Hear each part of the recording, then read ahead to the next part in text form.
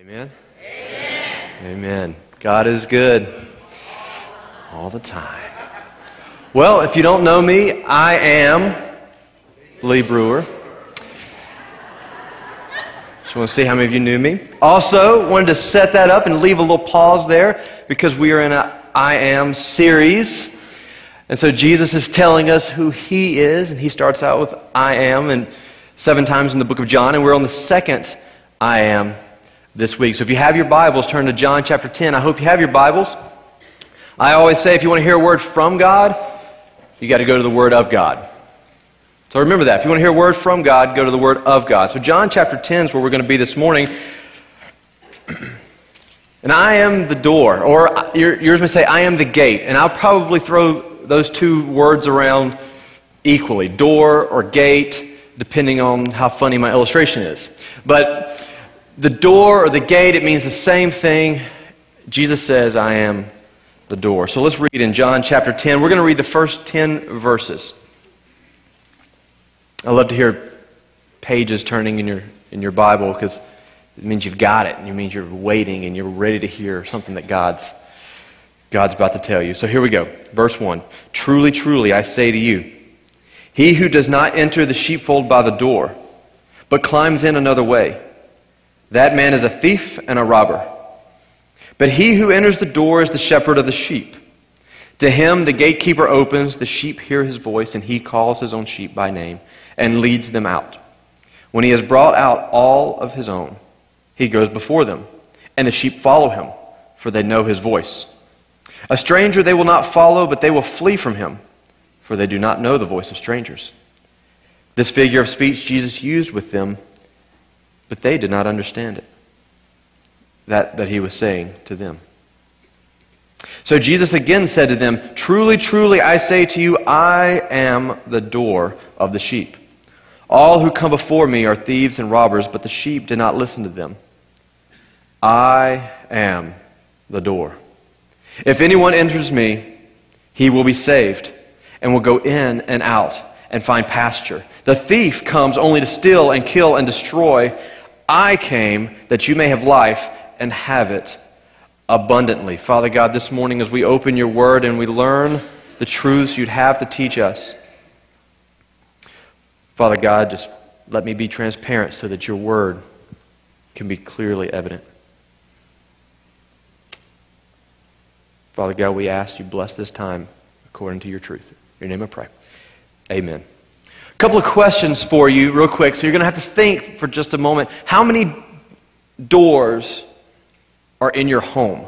How about exterior doors? Think about that. How many exterior doors do you have at your home? Okay? You got that? How many interior doors do you have in your home? Now let's, let's clarify, clarify a door. Exterior doors help you go in and out of the outside of your house, interior doors. So I was adding this up yesterday. I was starting to go, okay, well, I have four doors on the outside of my house. I uh, started adding up the doors inside. And like, okay, went through the bedroom doors, and then, okay, closets have doors, and, and bathrooms have doors. And I'm like, okay, so I have about 14 doors inside my house. And then I got to thinking, well, there's other doors in my house, like uh, the, the refrigerator door.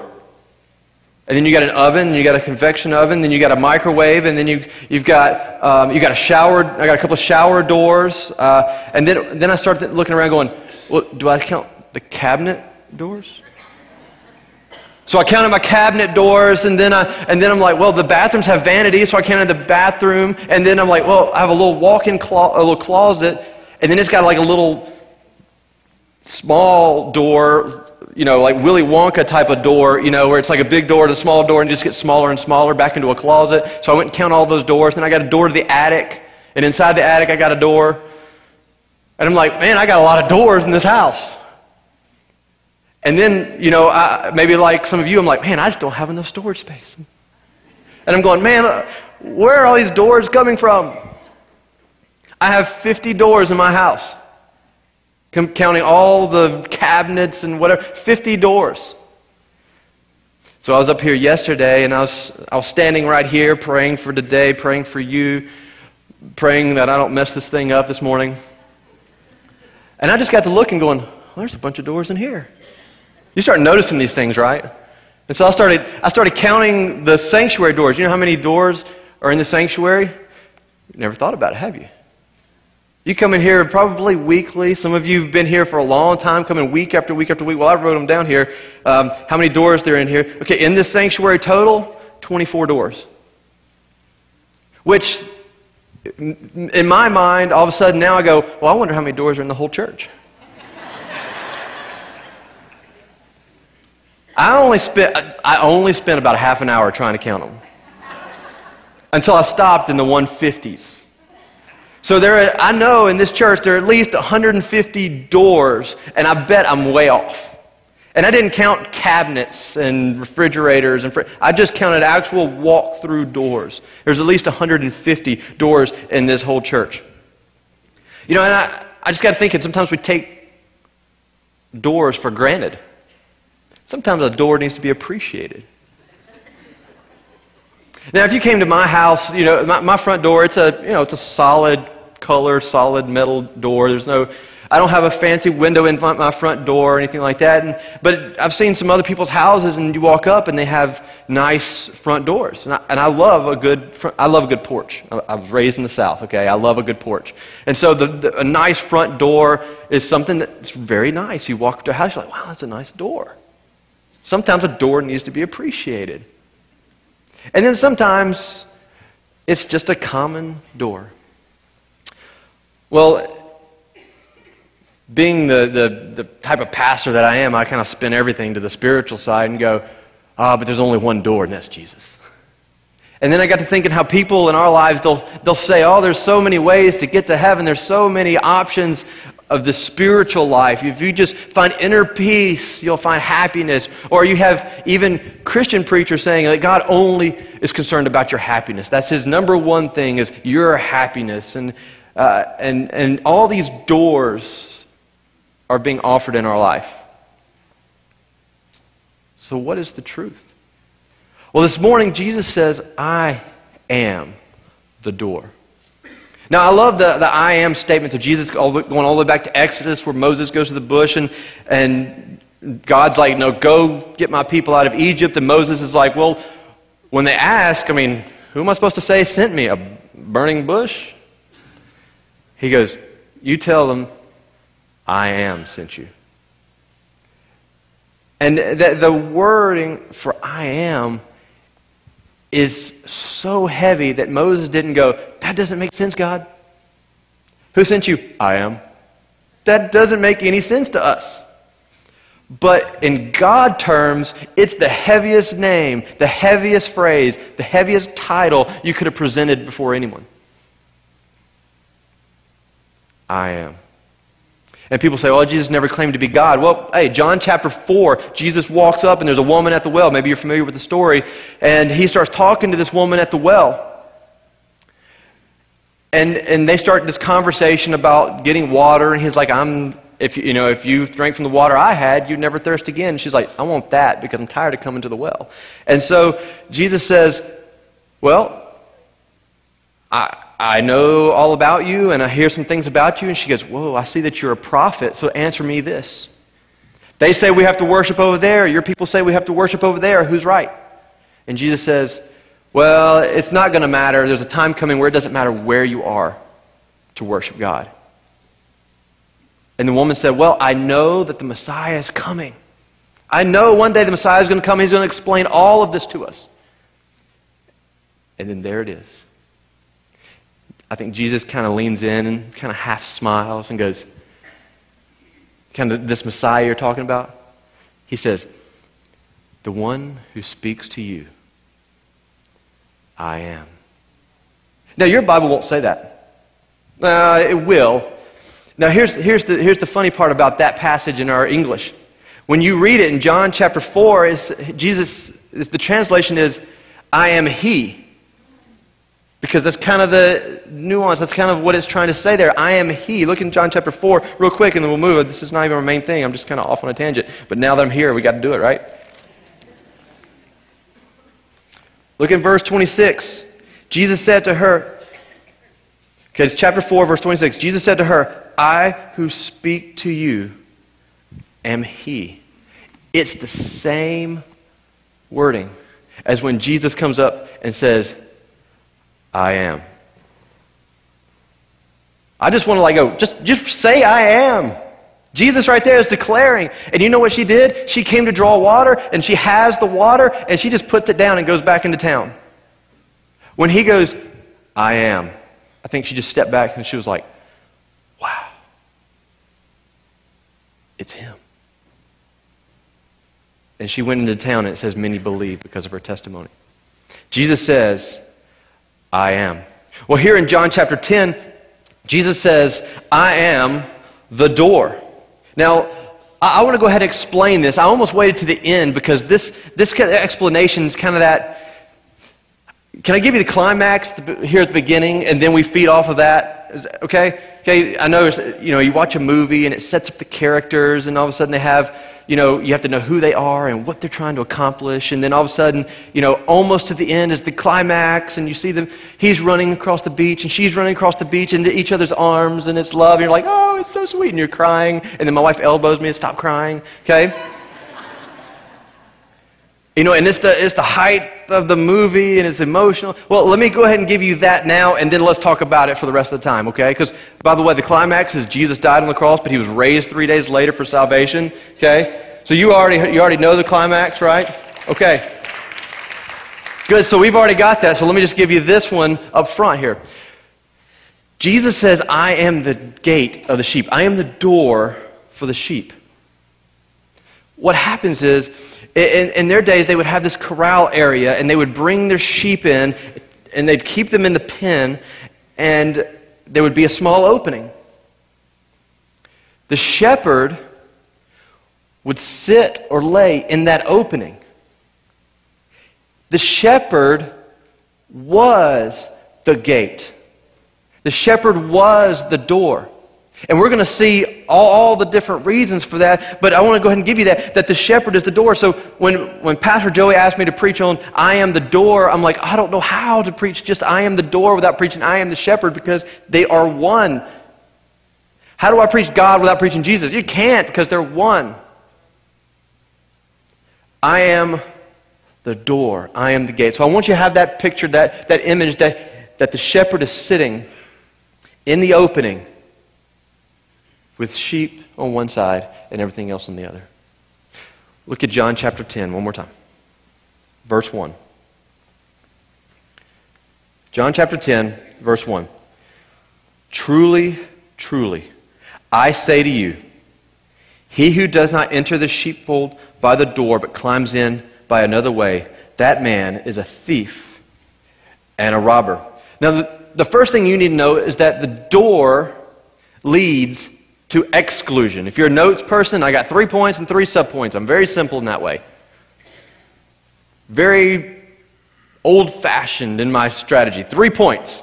I don't do poems though. Is that okay? Okay. So I got three points. First, the door leads to exclusion. Now, you've got a door at your house or wherever you stay, you've got a door. It's for exclusion, right? You know, there are people walking up to your house and you don't want to answer the door sometimes. You thought of Jehovah Witnesses, didn't you? You, you shouldn't. Mm, you, you laugh because you know you did. Or a door to door salesman. Let's just not pick on anybody here, okay? So all of a sudden you see somebody walking up and you look through the window and you're like, ooh. And then you pick up the dog. It's like, honey, get in the back. Pretend we're not here. You've done that. The door is for exclusion. They knock on the door, they ring the doorbell, the dog goes crazy. You're like, they'll go away. And you just kind of sit there and don't answer. Doors for exclusion. Now, my garage, it's funny, I used to have a car in the garage. Then I had a kid. Now he's got a little car in the garage. And a cart and jogging stroller and just toys. And so we're like, well, you know what? We can't park a car in here, so let's move some furniture in there. And, you know, and all of a sudden now my garage is not a place for cars, it's a place for stuff. I have a garage door so that you can't see all that stuff. It's excluding you from being able to see into my garage, in which I still had my neighbor's leaf blower. Uh, so he called me yesterday. I need my leaf blower. I'm like, oh, yeah, it's in the garage. and so doors are for exclusion. Now, the shepherd sits as the gate to keep out evil. Now, Jesus constantly refers to the Pharisees as a pit of vipers or wolves. I mean, false teachers are wolves in sheep's clothing. He, he says that there are dangers, and he sits in the entrance at the gate as the gate to keep out the evil. Jesus protects us. Not, not necessarily just from all the physical effects of sin and not just from sin's effects, but the spiritual war that rages. Jesus is our protector.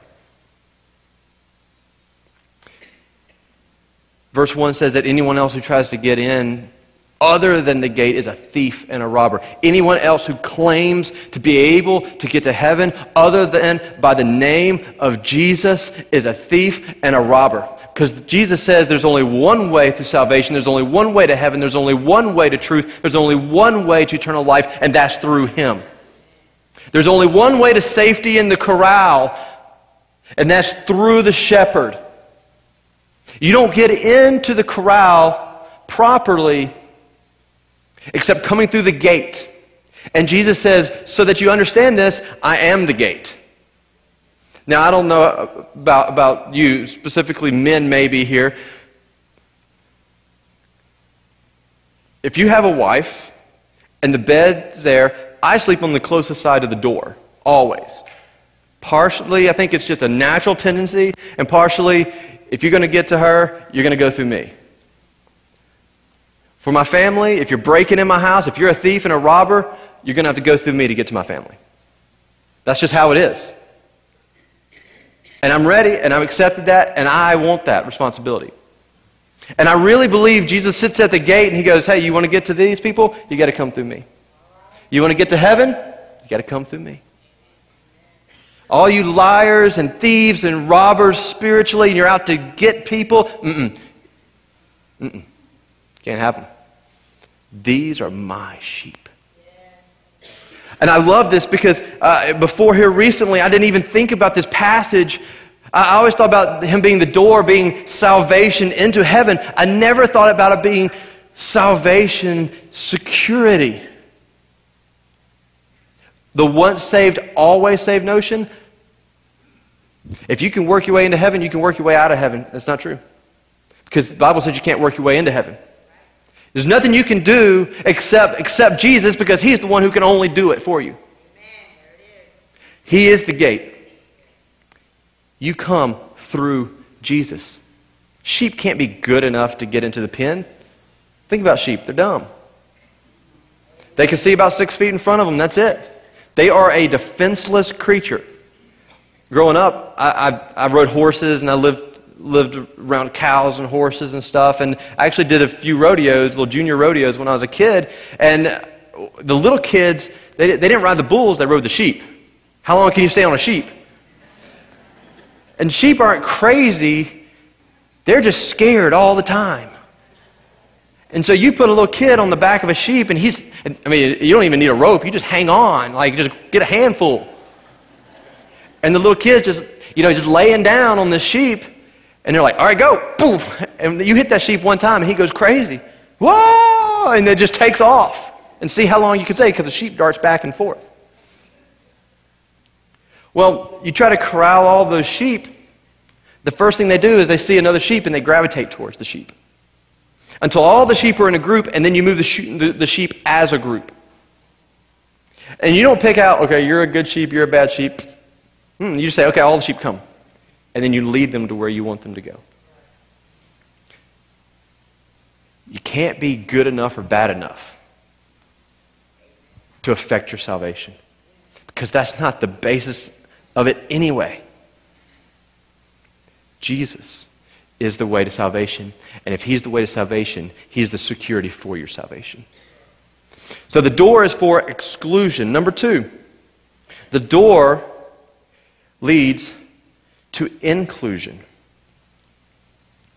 Now, I, I was reading the other day uh, in, in London, England, one of the most famous doors in all the world is number 10 Downing Street. Do you know what number 10 Downing Street is? It's where the English Prime Minister and pretty much everybody else over there in England does all their political business. It rivals the White House as probably the most important building in the world. And number 10 Downing Street is just a black door with a number 10 and guards. But I found something very interesting about the door. It only opens from the inside. Which means when you come to the door, no matter who it is, even the prime minister, when they come to the door, they don't have a key to unlock the door because there is no keyhole. It is a door with a knocker. And they knock, and someone lets them in. It only opens from the inside. Folks, salvation is not, well, let me, let me see if I can find the right key in life. Let me see if I can, let me see if I can, you know, you know, pick the lock with the credit card. Uh, let me, let me see if I can't just give my little shoulder into it and pop this thing open. Mm-mm. Salvation is coming and asking, May I come in? And Jesus is clear in Scripture. Those that call on the name of the Lord will be saved. Jesus, knock, knock, knock, knock, knock, knock, knock. Can I come in? Knock, knock. If He is the gate, He is the door, and you're knocking saying, Jesus, I want to be a part of your family. I want to be a part of the group. I want to be with you, Christ. I think Jesus goes, Come on in. The door is for inclusion. Now, there, there's some, some people that, you know, they, they, they kind of do the little, okay, I guess I'll knock, but then they open the door and just walk right in your house, and you're fine with that. You might have some people knock on the door, come in right in, and you're like, I really wish you'd wait. and then, you know, you go to somebody's house and you knock and you wait for them to come and open the door, right? I mean, this is our social behavior for knocking on doors, right? Well, the door is for inclusion. They knock, they ring the doorbell. I open, see who it is, close it if I don't like it. No, I'm just kidding. The door is for exclusion and inclusion. It's a very basic, simple thing, right? Whether you have a really cheap door, a real expensive door, whether it's a fancy door or not, whether it's a refrigerator door, your washer, dryer, everything is for in and out. It's the same basic principle. We have a door to go in and to go out. Everything else is details. And Jesus says everything is about in and out. In my family, or keep them out. So you have inclusion, you have exclusion, and then the door leads to desired places. Now, I don't, I don't normally, I don't know if I've ever just looked at my bathroom door and said, I just want to walk through that door. And then I walk into the bathroom and I'm like, that was nice. I think I'm going to walk out again. I mean, do we do, no, who does that, right? You know, we don't, we don't normally just walk into a room and stand there and go, oh, okay, that was nice, and then walk out unless you forgot what you were going in there for, right? And then don't use the bathroom illustration for that, right? And so you walk in to a door because you're going somewhere. It's purpose. You walked in one of these doors because this is where you wanted to come. Well, let's look at verses um, 9 and 10. Chapter 10, verse 9. I am the door. If anyone enters me, he will be saved and will go in and out and find pasture. The thief comes only to steal and kill and destroy.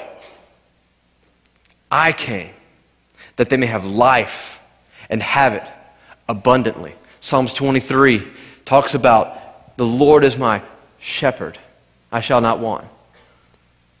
He leadeth me, right? And where? To still waters. And where? Green pastures.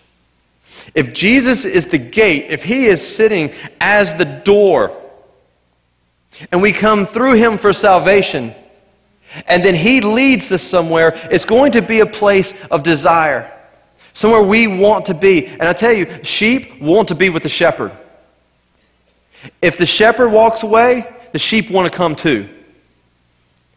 Sheep don't always know where the shepherd's going, but they just know that I need to be with the shepherd. That's got to be our hearts as the sheep, as followers of Christ. If Jesus is going to let me in, I'm going to worship him and be thankful for my salvation. And if he lets me out, I know that he has plans to prosper me and not to harm me. You see, it's the thief and it's the robbers, it's the, it's the devil, it's the evil spiritual side that wants to get to us, not Christ. So why does bad things happen to me, even if I'm a Christian? It's not because God's going, hey, let me, let me, let me do something bad to these people. No, no, no, no. It's the, there's a war, it's a spiritual battle going on, and God's like, no, I have plans to prosper you, not to harm you. That's the other side. I am the shepherd. I am the gate. I am the door of life. Anyone who enters me will be saved. And then you can go in and out. And it's a beautiful, beautiful thing. The thief comes only to steal, kill, and destroy. I have a 19 month old son, LJ, and um, we were sitting down and, and I, I put in Narnia, the, the movie Narnia. You may have read the, the Chronicles of Narnia books by C.S. Lewis. And I, I, just thought maybe he'd like the lions and stuff, and of course he did, because uh, he's into that making animal noise stage now, right? So every time a horse comes by, it's. That's pretty good horse noise, I guess. So I'm like, good job, buddy. So we, we put in the Chronicles, Chronicles of Narnia, and, and started watching it and I was thinking, wow, this is a really cool scene. I was going to show it, but it's really boring.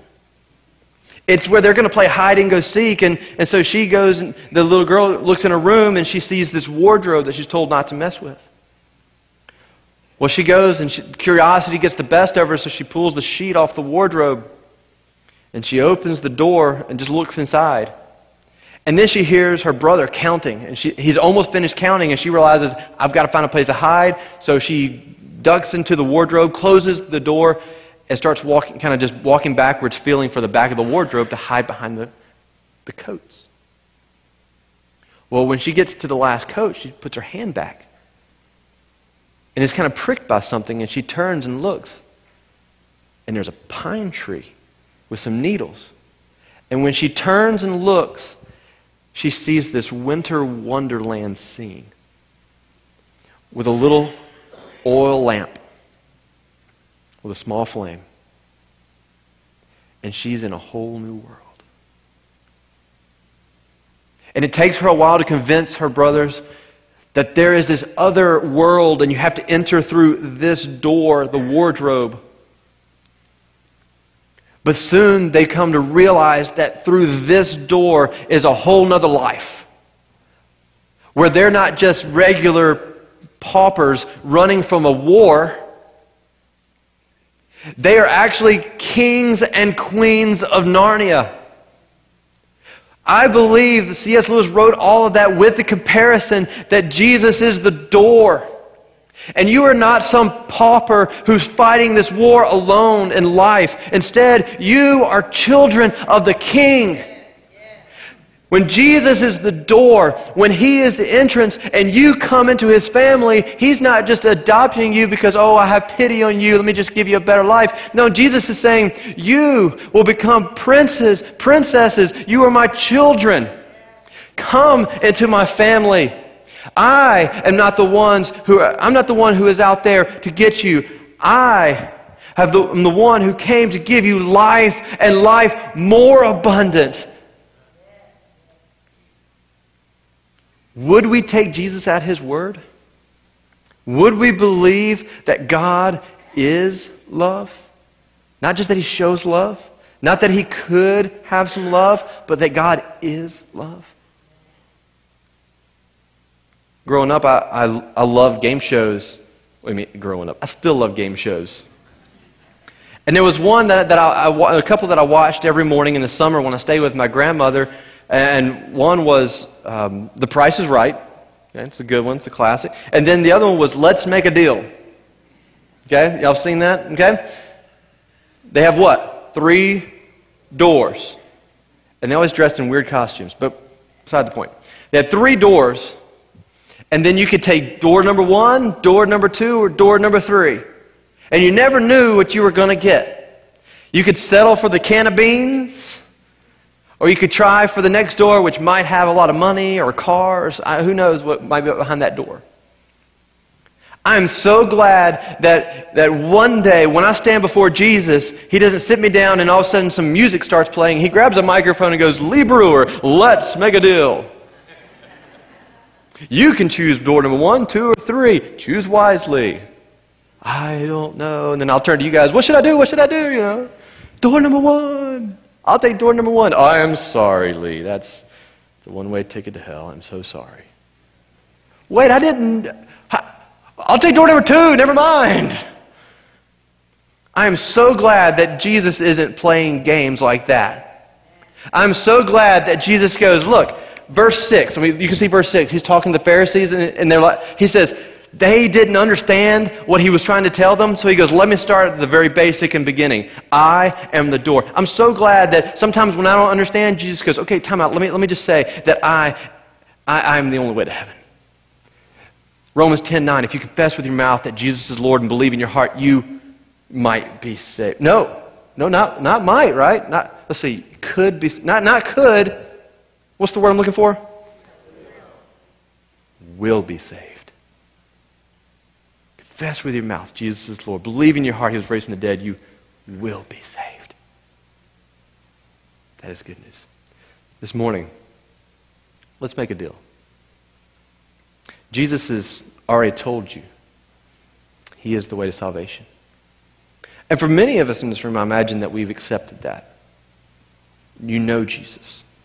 Typical church crowd, many know Jesus. But I believe many are also suffering and hurting and confused and feeling alone. And Jesus says, you know what? I'm still the gate. I'm still the door. You're still part of this family, and I still care because I'm still the shepherd. So when you feel alone, you're like, God, are you there? Jesus responds, I am. When he says, Jesus, is this thing real? Are you real? I am. Will you help me through this difficult Thanksgiving and Christmas without someone that I love? Will you be here to help me through this, through the whole thing? And Jesus says, I am. Jesus isn't going anywhere. But he's inviting us to come to him continually, over and over again. That's why Jesus said, I'd leave the 99 to go find the one. I'm so glad that Jesus came and found me. Let's make a deal. Will you take Jesus at his word? Even when you don't understand it all and you're confused and hurting and alone, will you just embrace Jesus? If you've never been saved this morning, will you accept the truth that Jesus is the only way to heaven? Jesus is salvation, and the only way to be saved be forgiven and to embrace Jesus. Let's make a deal. Father God, I pray that you are completely glorified with everyone in here to the fullness of your glory. And that we will shed the, the sin in our life and the things that hinder us. And we will run to you and run to the cross and embrace you as Lord and Savior and as shepherd and as the gate. Because where you lead, I will follow. So, Jesus, in this time, do a work in our hearts. I give you the glory. In your name I pray. Amen.